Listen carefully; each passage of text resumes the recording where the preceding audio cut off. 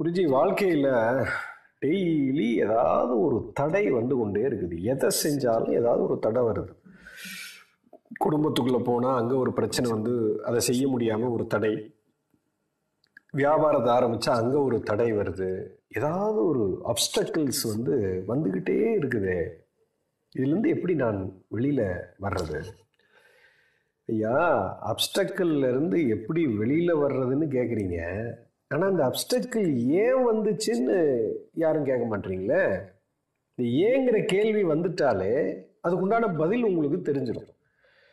ஒரு தடை ஒரு அப்டக்கிள் வருது அப்படின்னா இயற்கையில் உடல் ரீதியாக தடை வந்து எப்படி வேணாலும் வரலாம். இப்போ நீங்கள் ஒரு தொழில் பண்ணணும்னு நினைக்கிறீங்க திடீர்னு உடம்பு வலி வந்து கை வலி வந்து ஹாஸ்பிட்டல் அட்மிட்டடு செய்ய முடியாமல் போயிடுது உடல் ரீதியான பிரச்சனை மனதில் ஏதோ பிரச்சனை.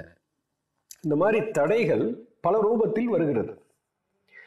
இது ஏன் ஃபஸ்ட்டு வருது அப்படிங்கிறத புரிஞ்சுக்கணும். அதாவது இப்போ ரோட்டில் போகிறீங்க ஒரு தடை வருது. இப்போ ரோட்டில் வண்டி ஓட்டிகிட்டு போகிறீங்க அப்படின்னா ஒரு ரூல் இருக்குது. என்ன ரூலு இந்தியாவில் வண்டி ஓட்டணும்னா எல்லாரும் லெஃப்டில் போகணும்னு ஒரு ரூல் இருக்குது. சரி.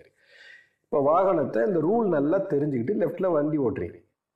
இப்போ இப்போ ரூல் ஒருத்தனுக்கு தெரியல. வெளிநாட்டிலேருந்து வந்திருக்கான். இப்போ அவன் என்ன பண்ணுறான்னா ரைட்டில் போகிறான் லெஃப்டில் போகிறது இப்போ ஏத்தாப்பில் வர்றவன்லாம் அவனை ஏற்றுக்கிட்டு வர்றான். போகவே முடியல. மொத்தமே தடைப்படுகிறது.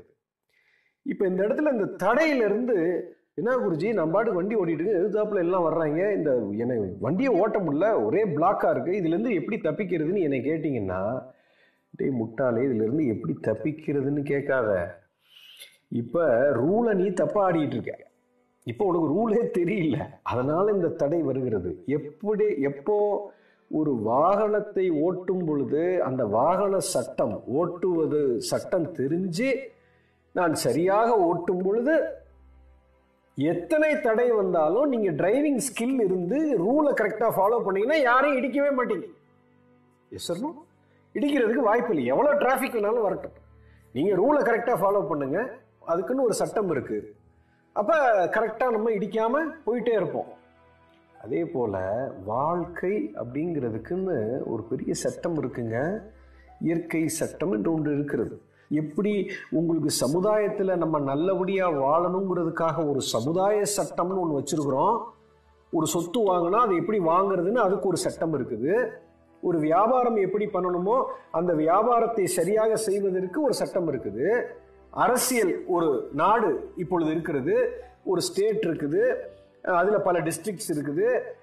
அதுக்கு கீழே பல கிராமங்கள் இருக்குது. வட்டம் ஒன்றியம் எல்லாமே இருக்குது. இது எல்லாத்தையும் சேர்ந்து ஒரு சென்டர்னு ஒன்று சென்ட்ரல் கவர்மெண்ட்னு ஒன்று இருக்குது. பார்லிமெண்ட்னு ஒன்று இருக்குது. இது கம்ப்ளீட் ஒரு செட்டப் ஒரு அரசியல் சட்டம் வைத்து நம்ம எல்லாரும் ஒரு சமுதாயம் வாழ்ந்து கொண்டு இருக்குது இது போல இயற்கைக்குன்னு ஒரு சட்டம் இருக்குது. அதில் பல லேயர் இருக்குது. அதை புரிந்து கொள்ளாதனால இயற்கை சட்டத்தை நீங்க மீறுறதுனால இந்த தடையெல்லாம் உங்களை வந்து அடிக்குது. இப்ப நீங்க வந்து என்கிட்ட இந்த தடையில இருந்து இப்படி வெளியில வர்றதுன்னு கேக்குறீங்க. நான் என்ன சொல்றேன்? இந்த சட்டத்தை புரிஞ்சுக்கிட்டா தடையே இருக்காதுன்றேன் ஏன்னா இப்ப தடையை விட்டு விலகணும்னா இப்ப அடுத்த ஒரு பெரிய தடையில போய் சிக்குவீங்க. ஏன்னா சட்டம் புரியல. இயற்கையில் இருக்கக்கூடிய சட்டத்தை அறிந்து கொள்வது தாங்க ஸ்பிரிச்சுவாலிட்டின்னு பேர். இதுதான் முதல் கல்வியாக நம்ம செய்ய வேண்டிய வேலை. இதை விட்டுவிட்டு நம்ம ஸ்கூலில் போய் ஸ்கூலு காலேஜு ஒரு டிகிரி வாங்கிட்டு ஒரு ப்ரொஃபஷனல் டிகிரியை வாங்கிட்டு வந்துடுறோம். இது நமக்கு என்ன நமக்கு பலனை கொடுக்குது? பணம் சம்பாதிக்கிறதுக்கு மட்டும் வழிவகுக்கும். வாழ்க்கையை வாழ்கிறதுக்கு இது உதவாது. வாழ்க்கையை வாழணும். ஒரு மனுஷன் சந்தோஷமா இருக்கணும் அன்பா இருக்கணும் வெறுப்பு இல்லாமல் இருக்கணும் பயம் இல்லாமல் இருக்கணும் கோபம் எரிச்சல் பொறாமை படபடப்பு இதெல்லாம் இல்லாம சந்தோஷமாக ஆனந்தமாக ஆரோக்கியமாக பிளிஸ்ஃபுல்லா உலகமே புகழ்ற மாதிரி ஒரு வாழ்க்கை வாழணும் அப்படின்னா பணம் மட்டும் இல்லை பதினாறு செல்வமும் ஒருத்தன் பெற வேண்டும். இது அத்தனையும் உங்களுக்கு கிடைக்கணும்னா இந்த மொத்த ஞானத்தையும் பெற வேண்டும். இதைத்தான் அந்த காலத்தில் சித்தர்கள் குருகுலத்தில் சொல்லி கொடுத்தாங்க. பட் இப்போ அதை சொல்லி கொடுக்கறதுக்கு யாரும் இல்லை. ஸோ இந்த ஞானம் இல்லாதனால இதையெல்லாம் தடை என்று நீங்கள் சொல்கிறீர்கள். தடை இல்லைங்க. இயற்கை வந்து உனக்கு கற்றுக் கொடுக்குது. திஸ் இஸ் டிவைன் இன்டர்வென்ஷன் இறைவனின் குறுக்கீடு. ஸோ உங்களை அடிக்குது. டேய் நீ ஏதோ ஒரு தப்பு பண்ணுறடா இப்போ சமுதாயத்தில் சொசைட்டி இல்லாத தப்பு பண்ணீங்கன்னா போலீஸ் வருது.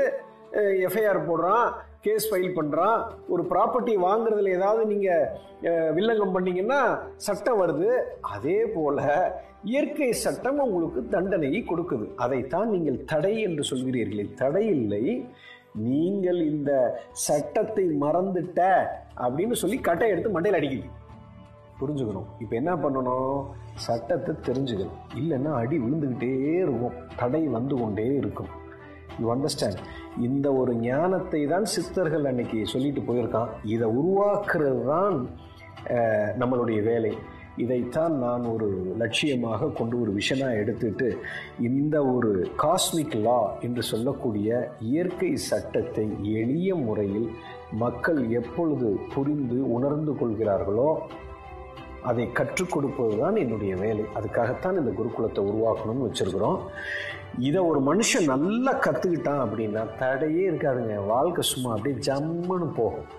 ஒரு பிரச்சனை இருக்காது. எப்படி காரை நீங்கள் நல்ல எவ்வளோ டிராஃபிக்லையும் இடிக்காமல் ஓட்டிகிட்டு போக முடியுமோ வாழ்க்கை என்ற இந்த வாகனத்தை எங்கேயும் இடிக்காமல் எந்த தங்கு தடையும் இல்லாமல் ஆனந்தமாக மிகுந்த செல்வத்தோடு சந்தோஷமாக மிகப்பெரிய பிளிஸ்ஸோட வாழ்க்கை பூரா வாழ முடியும். அதற்கு இந்த இயற்கை சட்டத்தை தெரிந்து கொள்ள வேண்டும். சமுதாய சட்டம் எப்படி லாண்ட் ஆர்டர் இருந்தால் இந்த சமுதாயத்தில் நம்மளால் அமைதியாக விடுதலையாக வாழ முடியுமோ இயற்கை சட்டத்தையும் தெரிந்து கொண்டால் ஒரு விடுதலையோடு அமைதியாகவும் ஆனந்தமாகவும் ஆரோக்கியமாகவும் மிகுந்த செல்வத்தோடு வாழ முடியும். You understand that's what is important so learn the cosmic law free from all obstacles எல்லாத்துலேருந்தும் விடுபட்டு வாழலாம். எஸ்